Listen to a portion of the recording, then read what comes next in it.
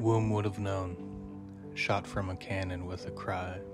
Hands of anticipation, cradle and rejoice another plummet. Form of impressions, soft to the touch, a bundle of things to come. Portrait of the whole falls to pieces, boundaries undefined. Steps taken, shapes sought in hammer and chisel world.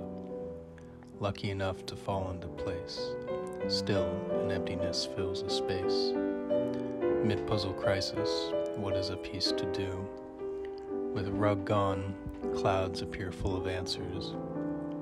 Wet from the rain, one happens a pond, met with the reflection, mirror of crystal sky. Piece for piece, with a look in the eye, a portrait framed inside the whole.